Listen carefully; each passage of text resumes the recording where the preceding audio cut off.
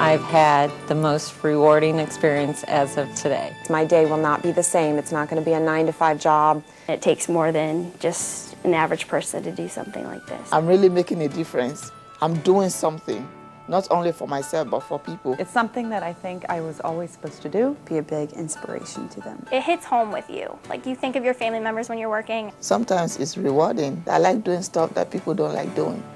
And that, I think, is much rewarding.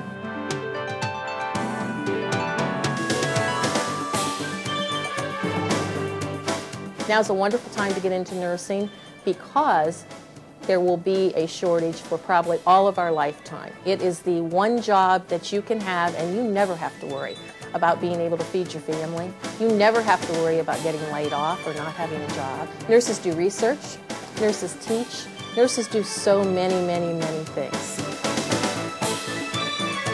Other schools, you just you spend two years wasting time on classes and stuff like that, just trying to get into the nursing program. And here, you start right away. You start learning right away.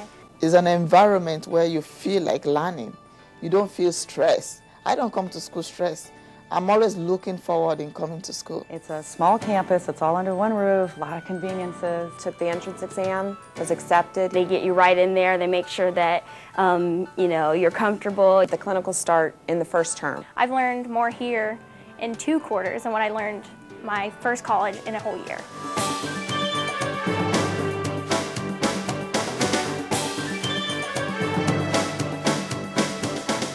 What you see at Hondros is not just someone standing in front of you talking and you're taking notes.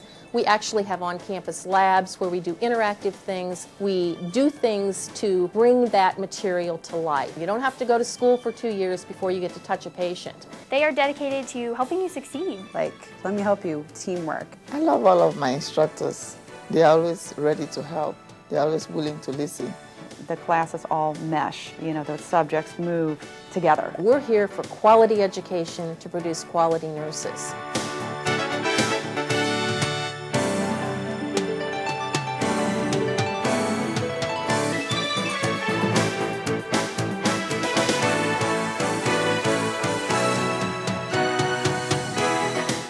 If I had to describe Hondros in one word, I would say dedicated. Exciting. Teamwork, convenient.